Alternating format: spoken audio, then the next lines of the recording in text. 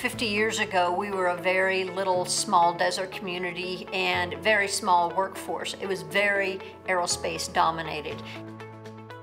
And now we've diversified our jobs base to become much more healthcare, much more ag, much more manufacturing of different types. We've recruited international companies to come here and build rail cars for Metro, and they came from Osaka, Japan.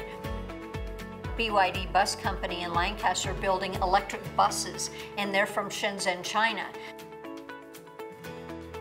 The Antelope Valley as a whole is probably one of the most economical places to do business at. We enjoy all of the economic development that's happening around us. Wind, solar, all the renewables, the aviation, the agriculture, the mining, all those different elements. We are close to the LA Basin, to that market, and that's a, a, a tremendous opportunity. It's a huge region. We represent 3,000 square miles from Acton up to Ridgecrest, from the I-5 across to the San Bernardino County line.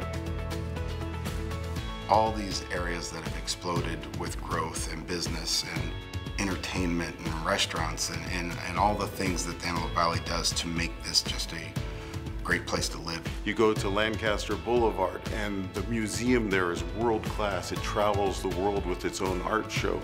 There's shopping there, there's beautiful restaurants. But I think the biggest thing we offer out here is uh, availability and price.